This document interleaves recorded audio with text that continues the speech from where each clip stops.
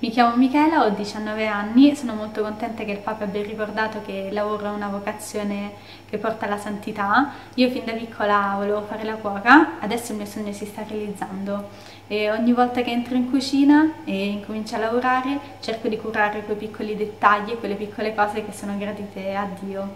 E mm, sono molto consapevole anche del fatto che la quotidianità ha un valore molto grande che porta alla santità